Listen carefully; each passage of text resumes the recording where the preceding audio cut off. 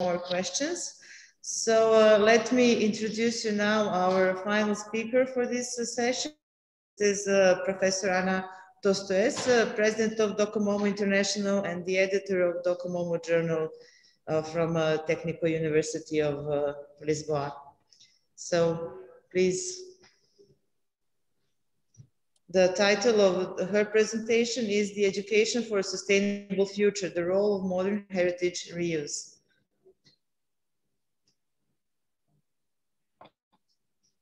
Okay, may I? Yes. Can I have the, the, the screen? So I would like to start by thank you very much for this very challenging invitation in this kind of uh, webinar. So I would like to greet the HERSUS project. It's a very, very interesting uh, application and now a very interesting content discussion. Um, and of course, I would like to uh, say good morning to everyone. Um, and uh, once again, to, to greet my colleagues more directly from Sevilla University, but I'm very happy to be in Belgrado uh, as well. So Hello, everybody. It was a pleasure to listen to Stefano Francesco Musso.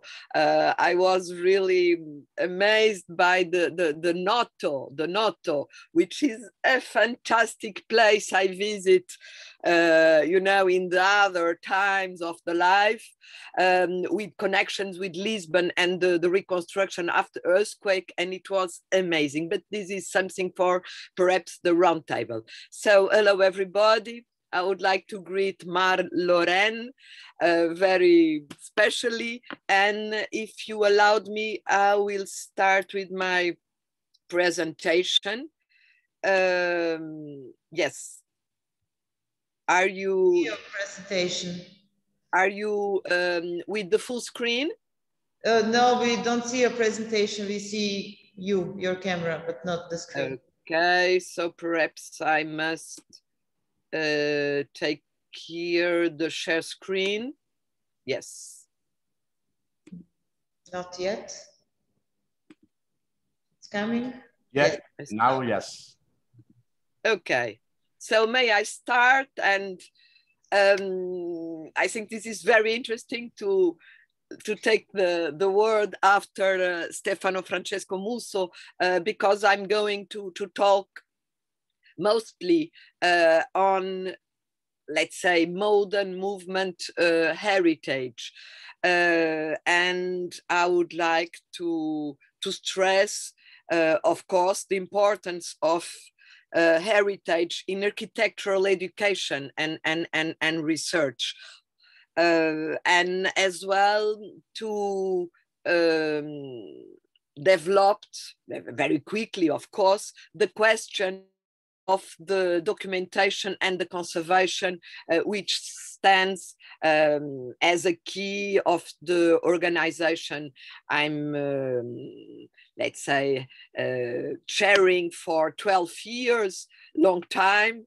Uh, for the moment, we have um, quite uh, a world uh, at the moment, uh, and um, we try uh, to keep in mind this idea of uh, reutilization, of renovation, reuse, restoration. I would uh, like to um, talk about all the different approaches we could have concerning uh, 20th century uh, heritage.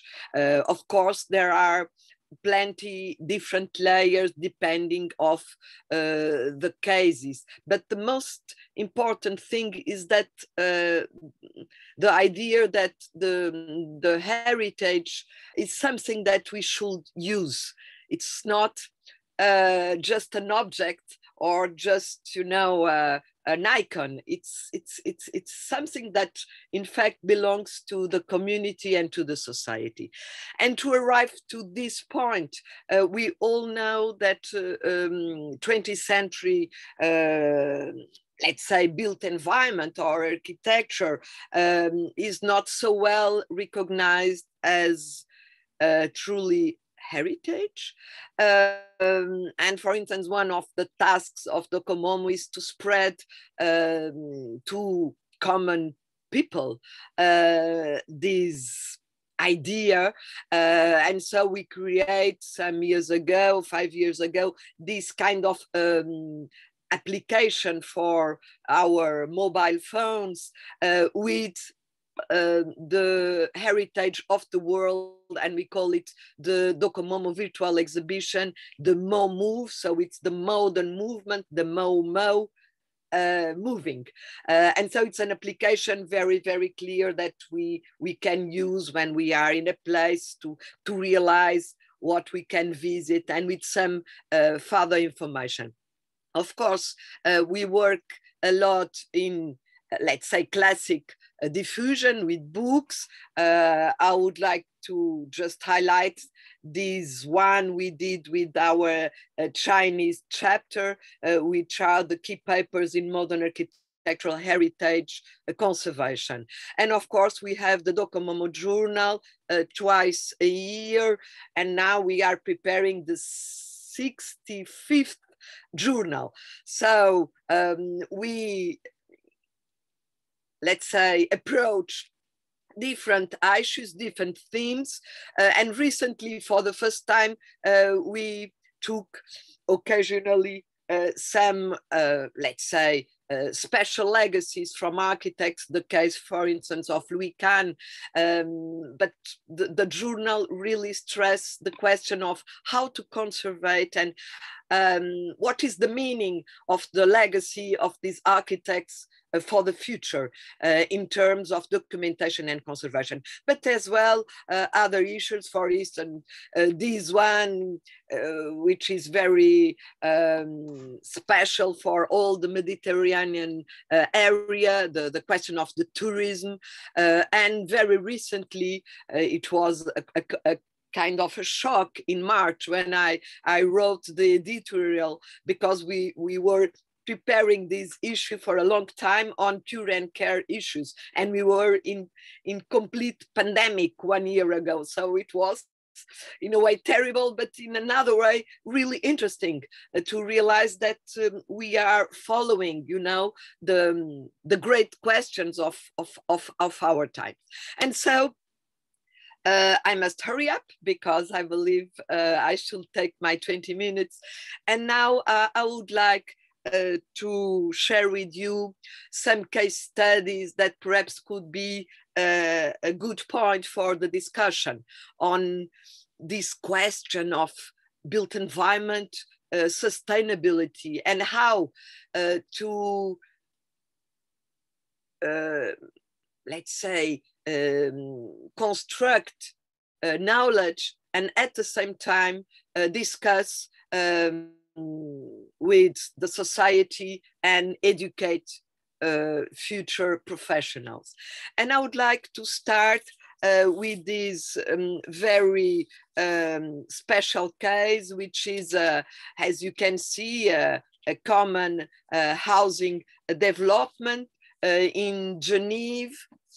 and it's quite interesting because this um, great complex um, with 10,000 uh, inhabitants. It's quite, a, you know, a mega structure um, from the 60s. Uh, it was, let's say, fated to be destroyed, as we know lots of um, places and and and and uh, uh, housing complexes, um, at least in Europe and in North America, that are being destroyed because they don't fit anymore the regulations, people don't love them, etc.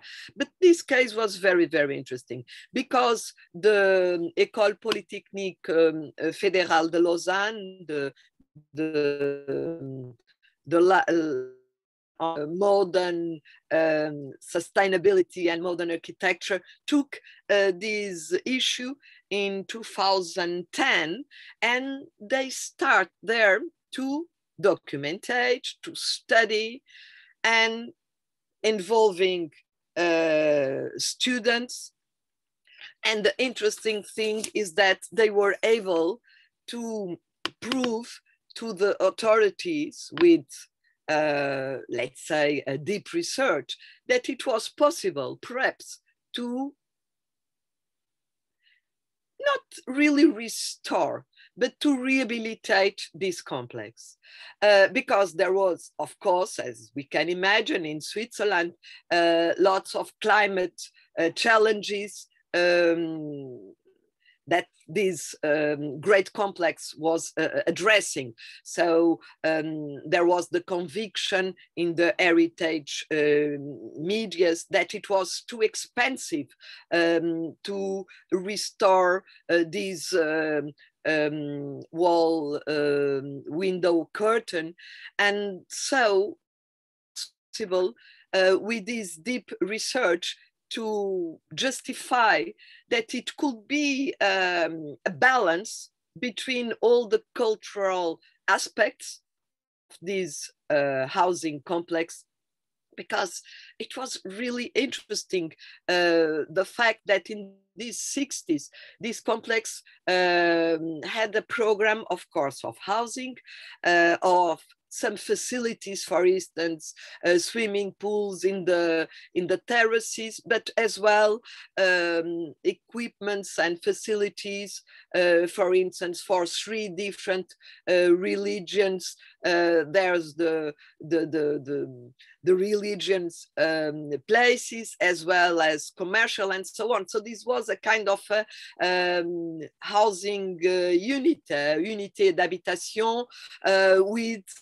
uh, this kind of uh, landscape environment uh, near the Rhône, the, the river. So the people, they really loved very much to live here. And there was so a mix of social activity with the work of the university um, with this education key uh, aspect um, confirming uh, the possibility of this rehabilitation and with the financial um, quantification in order to prove that this could be possible. And it was amazing because I always remember uh, this was published uh, in the Docomomo Journal of 2011. The next year, uh, this, let's say, project won the Europa Nostra uh, uh, and then um, the Swiss awards from the, the board of architects and engineers. And now it is quite finished the re restoration and it's really a success uh, when at the beginning of the story uh, all um, the, um, the aspects perhaps told that it was a, a lost cause. And so I would like now to move to another um, example. This is the, the, the German school in Lisbon. It's a, uh, one of the latest projects of Otto Bartning. Otto Bartning, as you know, it's a, a very interesting architect he, from Germany. He worked a lot in, in um, school programs and this, this is one of the last ones and it's really, really amazing it was necessary, you know, to to uh, make some new buildings in this complex, and fortunately, uh, the school um, spoke with uh, different people, board of architects, and so on, and. Um, they accept to make a competition and it was very very good because uh, with this competition it was possible to make the difference between this project and and almost of the others because the others they didn't care really about the existing uh, building which is the one you can see here.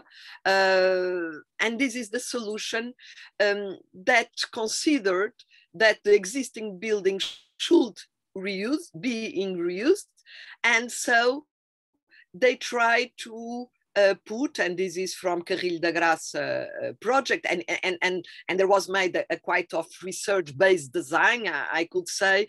And so they uh, try to uh, put, let's say, the primary new school, you know, near the borders, creating a kind of uh, acoustic barrier because there's a, a, a big traffic um, line here, and then the new gymnastic uh, area in the other board. So with this uh, strategy to put the new constructions in the borders or in the limits of the plot, they were in fact able to restore um, the school from the 50s uh, and to rebuild uh, or, or to make let's say new um, new spaces to build new spaces in accordance in a way uh, with the spirit of the existing uh, place as well as uh, restoring uh, the interiors uh, with let's say the same philosophy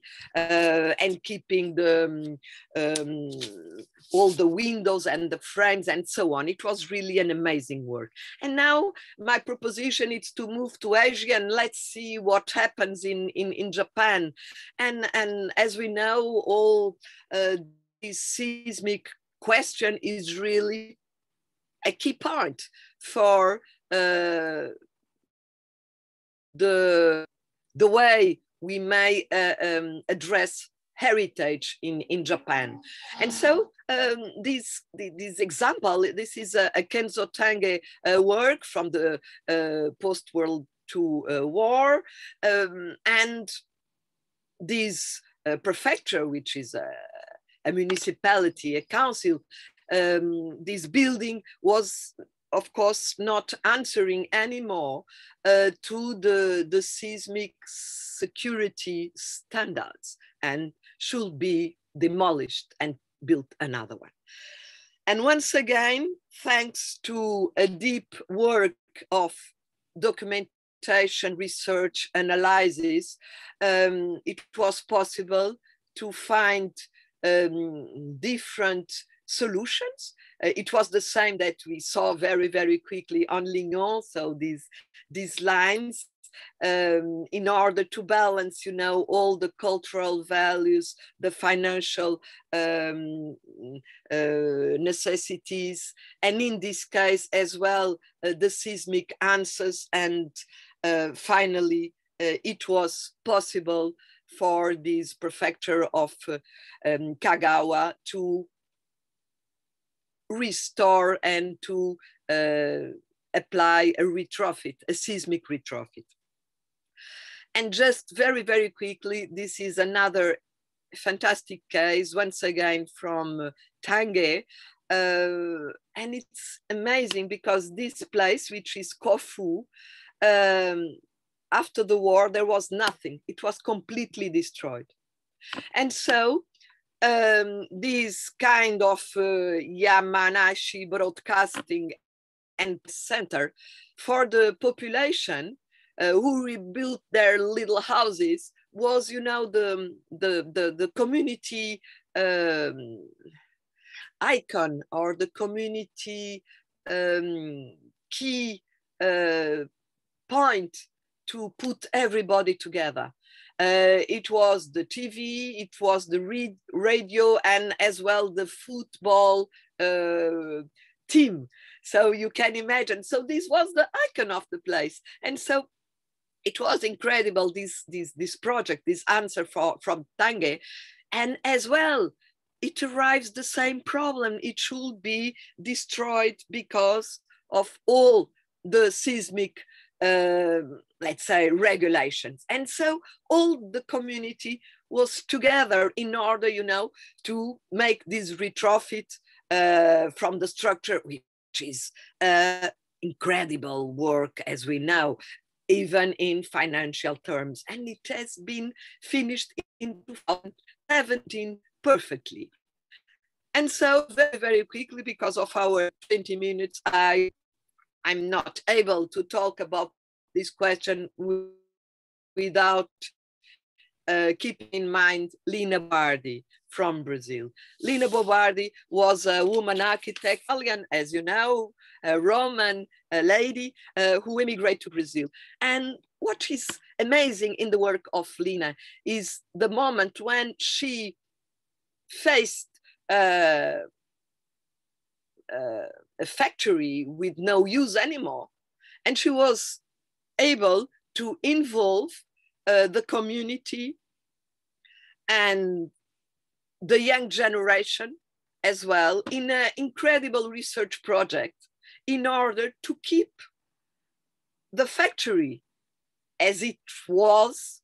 This factory was the reason, the, the being reason of this place. Everybody worked in this factory and it was no more uh, used. And we, we are talking about the 70s so this is a very very avant-garde project of reuse and reutilization.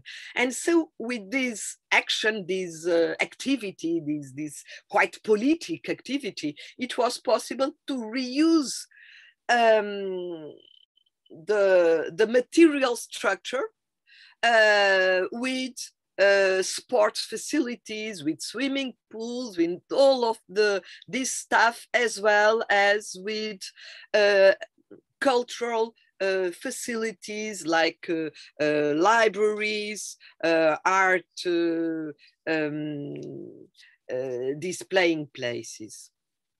So I think that this SESC Pompeia uh, as a leisure center and a sports center is in fact a, a kind of an avant-garde um, action um, towards what we are dealing now 40 years after you know uh, with this um, discussion on documentation conservation and reuse.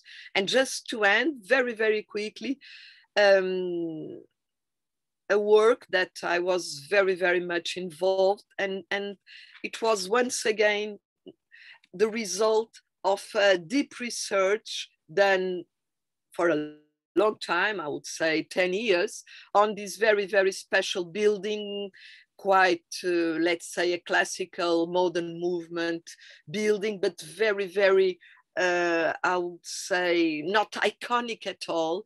Um, it's a very, very discreet uh, construction, uh, in a way quite humble, uh, of course, with very, very good materials. And as Leslie Martin um, recognized, um, this building will be classical in the more fundamental sense that it arises from the well proportioned and logical solution to a very special problem.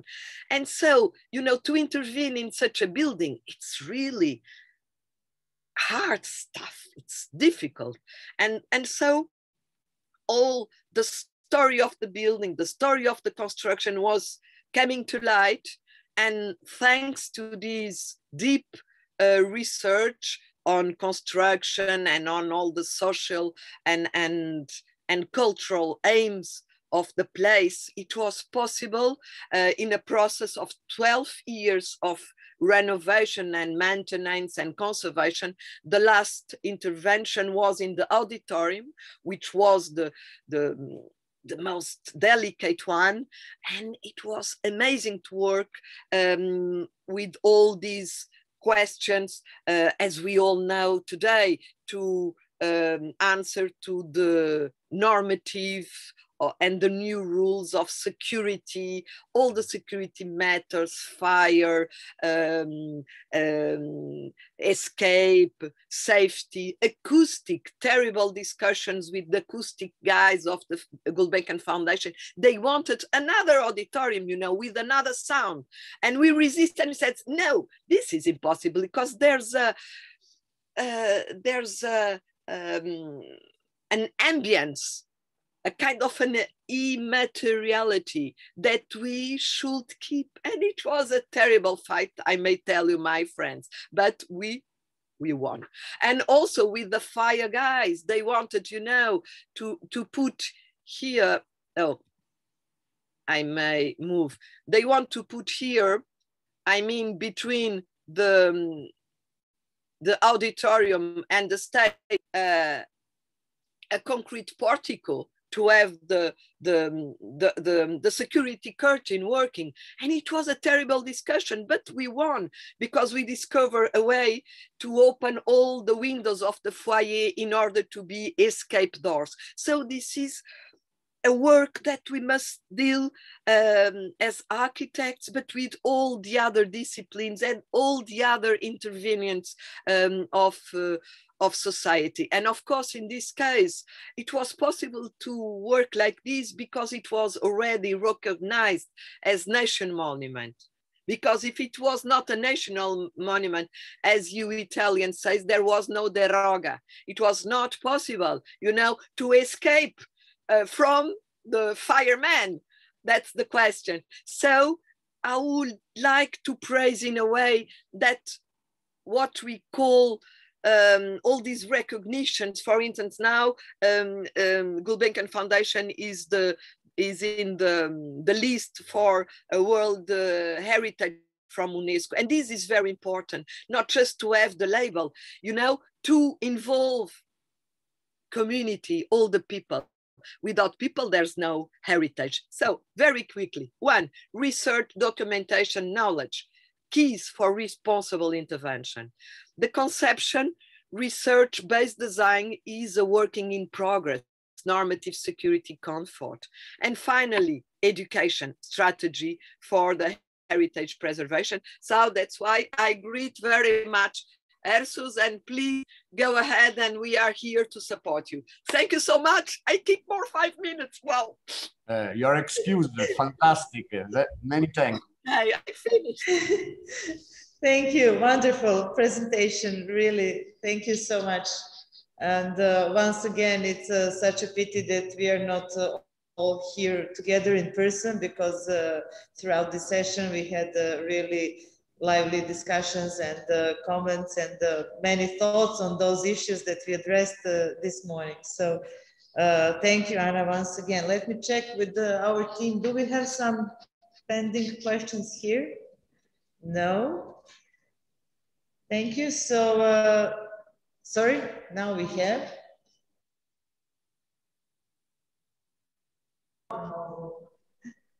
Uh, we have a one hand raised, just a second. Oh, Mar Loren, thank you.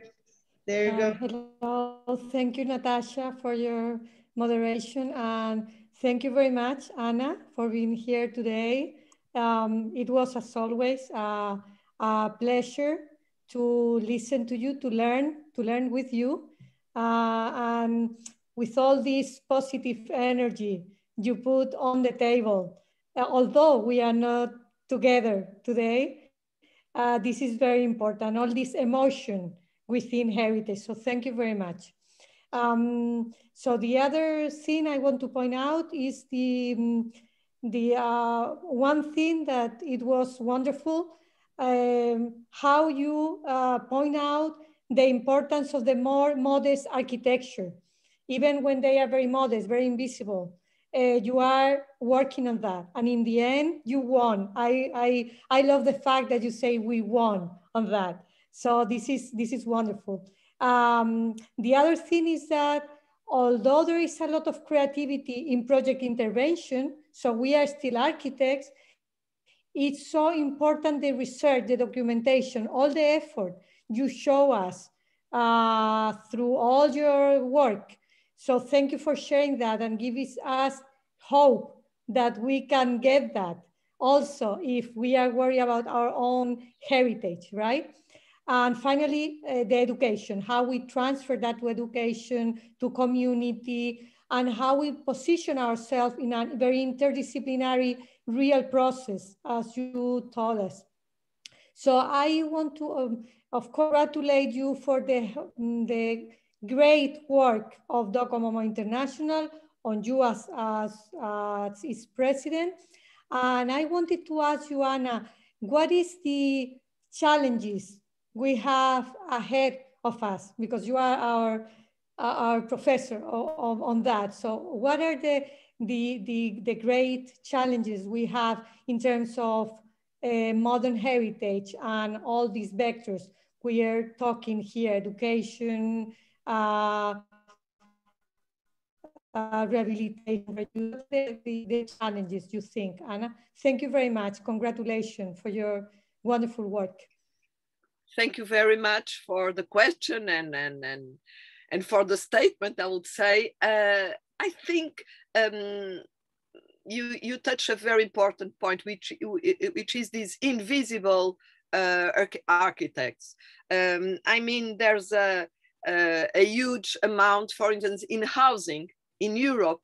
I think we have um, an incredible uh, experimentation uh, work, um, mostly after the World War II. For instance, Italy, it's incredible.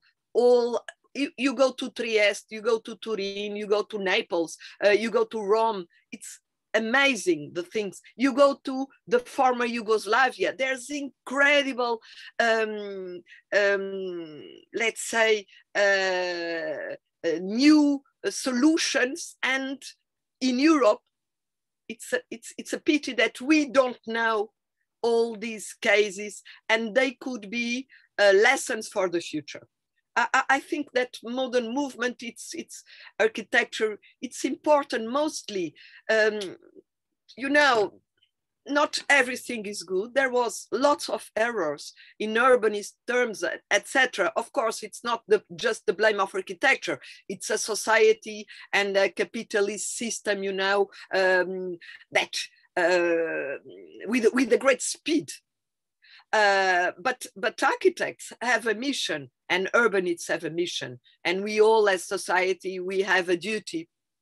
And so i think housing is uh, in my point of view uh, one of the great issues and and, and keys um, to work on. And i'm trying to do it.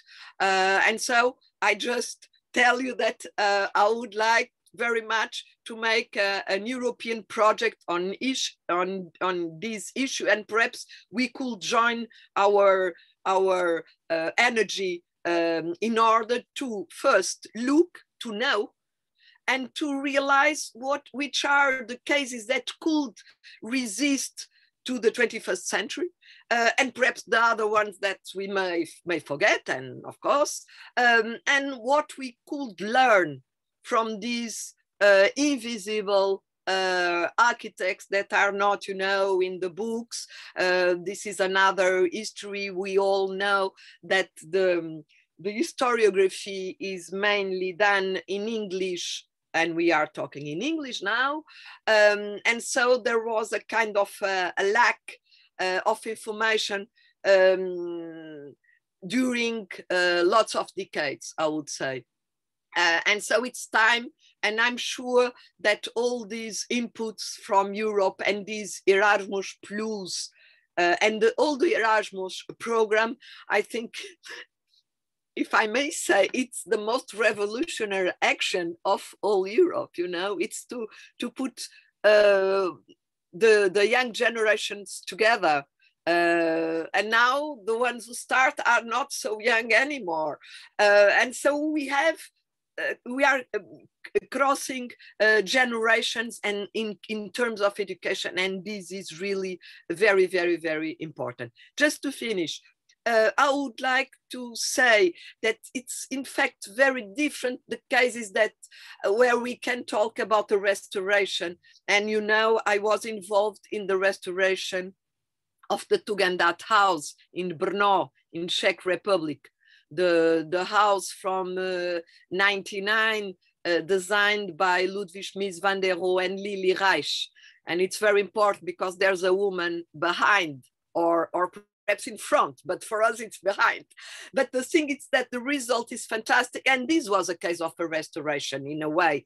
Restorations are always, you know, a little bit of invention, but let's say this house deserved I would say to be restored and to put lots of money just to make a museum.